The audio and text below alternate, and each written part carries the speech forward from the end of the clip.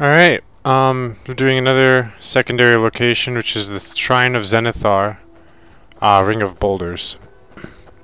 This, just to show you, we are just south west of Swindler's Den, a little bit here. You can kind of see where I'm at.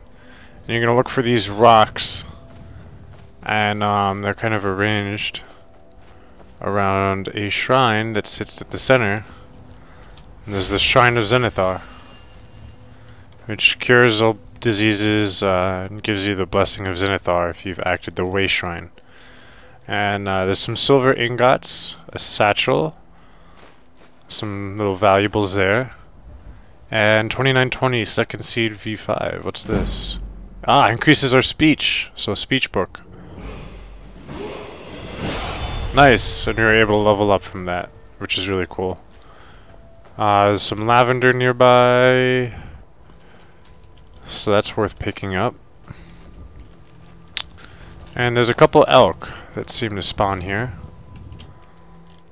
Let's bring out the uh, Nord bow I got. See if we can do some hunting. Is she gonna get it? Yeah, she got it. Alright, the other ones ran off. Just double check around the vicinity here.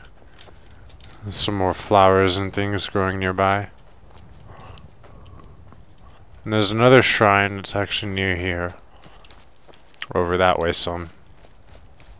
And I have a separate video on that. Alright, I guess we'll collect the, uh... Where's that deer that we downed? Ah, here it is. Deer hide venison in my arrow. Word. So, uh, yeah, that wraps up the secondary location, just another minor place um, that stays unmarked on your map, but is worth knowing about because of the shrine, basically, if you're looking for it.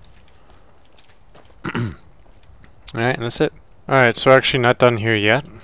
There's one more item, and I should mention that I was actually mistaken. This is the Crumbling Bastion, not the Ring of Boulders that I was thinking it was. But if we jump up here, we can actually find a chest to unlock. There we go. It's got some nice little extra valuables in there.